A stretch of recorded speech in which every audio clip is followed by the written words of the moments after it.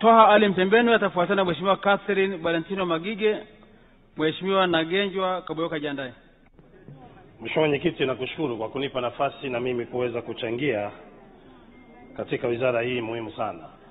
Lakini awali ya yote, kwanza nichukue fursa hii kumpongeza sana Mheshimiwa Rais Dr. Samia Suluhu Hassan kwa kazi kubwa na nzuri ambayo anaendelea kuifanya katika taifa hili kwenye sekta hii na sekta nyingine zote.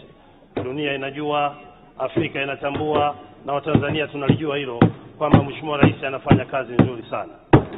Lakini nichukue fursa hii vile vile kumpongeza Mheshimiwa Waziri, yeye pamoja na manaibu waziri wake waendelee kuwa wanyenyekevu hivi hivi na mabega yao yaendelee kuwa chini.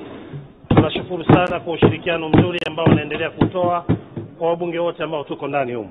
Mheshimiwa Mwenyekiti, nitakuwa mchoyo wa fadhila, nimpongeze sana mkurugenzi mtendaji wa tasak kwa kazi kubwa na nzuri anayoifanya.